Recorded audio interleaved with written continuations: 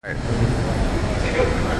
afternoon, I'm Jason Mafera with Imprivata, and today I'd like to show you uh, our latest integration with Samsung Zero clients and how we can enable fast access um, and streamlined healthcare workflows uh, when accessing today VMware View desktops. So here I am at uh, Samsung Zero client, and you'll see that uh, the OneSign components are running here, built directly into the Teradici firmware.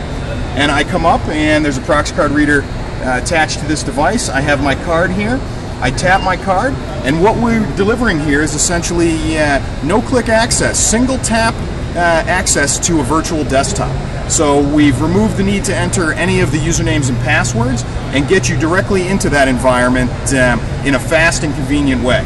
So as a clinician, I could tap my card again to secure my station and there we see that it's gone back to uh, the login screen.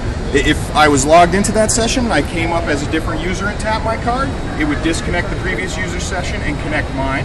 Now if I roam to the next station and I tap my card, what you'll notice is again you get that uh, one-touch access uh, into the virtual desktop. No need to uh, type in usernames and passwords, no need to select desktop entitlements connect me directly to that uh, VMware View desktop and you'll notice that it's left in the same state it was the last time that I used it. Now again at this station I could tap my card again to secure and move on to my next station. So essentially what we're delivering here is an integration that provides uh, streamlined and fast access to um, really take those clinician workflows and make them as easy as possible. And one of the reasons we do this is, um, you know, from from a hospital perspective, uh, the ability to meet meaningful use um, is really all around getting clinicians to adopt EMR. And doing that, moving from paper to something that's electronic, can be cumbersome when they need to relearn how to use technology and get that access to uh, the information they need.